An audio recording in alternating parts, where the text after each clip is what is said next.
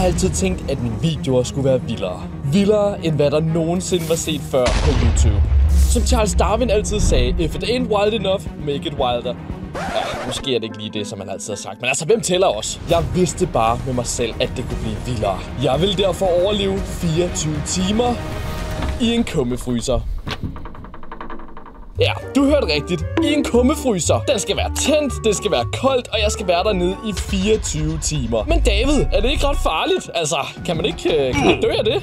Jo, det er derfor, jeg har tænkt mig at gøre det. Charles Darwin kan ikke få mig ned med nakken. I hvert fald ikke, før jeg har haft ondt i nakken at ligge i en kummefryser i 24 timer først. Nix. Jeg vidste, hvad jeg måtte gøre. Jeg måtte ud og få fingrene i en fryser. Problemet er bare, at de er pænt dyre. De koster cirka 2.000 kroner, så jeg gik på DBA.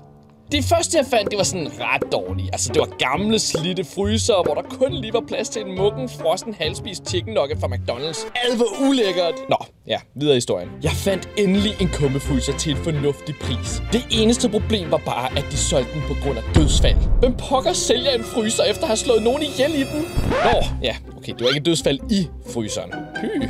Eller skulle jeg sige fry så fryser. Kumme frys. Okay, dårlig joke, Judex. Jeg købte fryseren og fik den leveret for 200 kroner ekstra, da jeg ikke havde en trailer. Trailer? Trailer? Hvordan udtaler man det overhovedet? Men ja, det var sygt god stil alligevel. Men nu opstod det næste problem. Problemet over dem alle. Hvordan overlever jeg 24 timer i en fryser?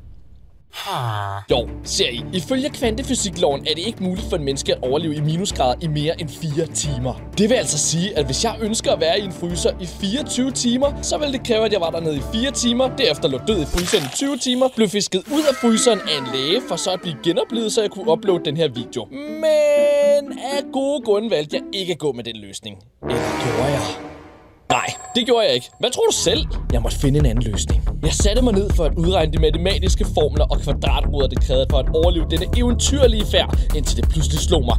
Tøj. Jeg skal have tøj på. Men jeg skulle ikke bare have lidt tøj på. Nej, jeg skulle have virkelig, virkelig, virkelig, virkelig, virkelig, virkelig, virkelig meget tøj på. Som Johnny Gade engang sagde for 50 år siden, dengang han studerede højteknologisk kemikalieastronomi på DTU, så var en trøje bare ikke nok. For at overleve måtte jeg altså have rigtig, rigtig, rigtig, rigtig, rigtig meget tøj på. Jeg er faktisk helt nøjagtigt 14,17 t-shirts, 4,5 hoodies, 8 par bukser, 23 strømper, 4 par underbukser, 5 stykker galt, 4 huer, 8 vanter og 21 halserklæder. Det var hvad det krævede. Jeg vidste, hvad der var på spil. Missionen var sat. Derfor tog jeg i Bilka for at købe dette, men da jeg fandt ud af, at det var maks 3 per kunde, ja, Synet var ikke kønt. Missionen havde fejlet. Jeg var en fiasko, et nul, en undermåler, en taber, en sutsko, en hjørnetaburet, en sten, som selv bor i et glashus, et tomt glas vand, men værst af alt, en fejlagtig, krøllet Minecraft-dreng.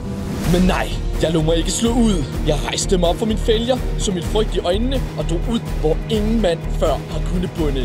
Jeg tog ind på kontoret i gigt. Ronny, må jeg godt tage noget tøj på lageret? Nej. Jeg græd og græd og græd, indtil jeg stoppede.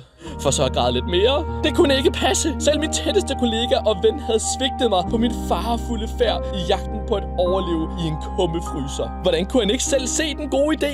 Men som en klog mand altid sagde, du er sindssyg, indtil du er genial, så er du genial. Men før du er genial, er du sindssyg. Uh, især hvis folk siger, du er sindssyg, så kan det godt være, at du bliver Jo. indtil man er genial. Men man kan også godt blive genial uden at være sindssyg. Men lige nu er jeg sindssyg, indtil jeg er genial. Så jeg vidste, hvad jeg måtte gøre. Jeg måtte klare mig på egen hånd. Når hverken Bilka, Ronny fra Geek eller den oldtids gamle Johnny Gade ikke kunne hjælpe mig, måtte jeg vende skuden 180 grader og tænke ud af boksen. Ud af boksen? Ja, i hørte rigtigt. Jeg valgte at overleve 24 timer ved siden af en kummefryser. Jeg var genial! Intet kunne slå mig ud nu. Jeg var på rette kurs, og... Ej, det fungerer ikke. Det fungerer simpelthen ikke. Så ud. Ikke sejt ud. Jeg må tage mig sammen. Virkelig tage mig sammen. Mande mig op som den mandemand, jeg er, og se min frygt i øjnene. I ved, dybt i øjnene. Og så måtte I op på den hest, jeg lige havde klappet, og sætte mig ned i fryseren. Men vent, jeg havde glemt at pakke alt mit grej. For hvordan ved man egentlig, om man er klar til at placere sin slanke krop ned i en kummefryser i 24 timer? Det tror jeg først, man rigtig ved, når man er ved at sætte sig i den. Jeg havde glemt mad for pokker. Derfor skyndte jeg mig ned til køleskabet for at finde noget mad. Men alt vi havde var makrel. Jeg spurgte Ronny, om vi havde mere mad, men han svarede. Nej. Nej. Løbet var kørt, Max Verstappen var i mål, og Mario havde kastet bananen. Ingen mad, ingen challenge. Hvordan vil jeg overleve uden mad i 24 timer? Er det overhovedet muligt? Altså, i en fryser? Det tror jeg ikke. Men der slog det mig. Noget, som aldrig før havde slået mig før. Noget, som jeg havde glemt fuldstændig alt om i sin tid. Men som, hvis jeg husker korrekt, stadig ligger et sted på Geek. Et sted dybt i det fjerne, langt nede i en forvokset afkrog af Geeks lager. Så vidt jeg erindrer, stadig er der. Jeg ledte og ledte og ledte, indtil jeg til sidst fandt, hvad jeg kom for. Mine gamle Judex tips fra mit meetup med Shadys. Jeg var reddet. Jeg var frelst. Som sendt fra himlen med åbne arme kom denne frelsens åbenbaring af en madvar til mig, som var den kaldet fra himlen. Jeg vendte mig om og gik imod fryseren. Nu var det alt eller ingenting. Det var nu det hele skulle ske. Slagets gang og hestetarm. For hvert et skridt jeg tog, føltes sekunderne minut lange. Første skridt tænkte jeg, åh oh, nej, hvad hvis jeg ikke overlever? Andet skridt tænkte jeg, hvad hvis jeg ikke kan lide chipsene? Men jeg vidste jo godt, at de smagte fint. Det tredje skridt tænkte jeg, nu gider jeg altså ikke at tælle min skridt mere. Det er pænt kedeligt. Hvorefter jeg bare gik resten af vejen efterfølgende. nu står jeg der foran fryseren igen. Jeg var klar. Max klar. Max Verstappen klar, parat. Start at hoppe ned i fryseren, så var det det sidste, jeg gjorde. Jeg tog tilløb, tog mit kamera op og begyndte mine 24 timer i en fryser. Sådan venner, nu er det simpelthen nu, jeg gør det. Vi skal altså ned i den her fryser her, og vi skal være der i 24 timer. Oh my god, jeg tror det bliver slemt det her. Vi stiller tipsene der. Jeg skal være i den her fryser nu i 24 timer. Okay, vi kan godt lige være her. Det begynder at blive lidt koldt, det her. Åh, men det går dårligt. Vi skal bare være her i 24 timer. Så kan vi komme ud igen. Åh, hvor lang tid er der gået nu? Hvor lang tid er der gået? 5 minutter. Åh, mand. Okay, ved I hvad? Nej, ved I hvad? Det, det kan man ikke. Det kan man ikke. Puh, ja. Nå, det var 24 timer i en fryser i hvert fald, vi opgav. Sådan er det jo. Sådan kan det jo gå med 24 timers challenges. Tak fordi du så med, vi ses.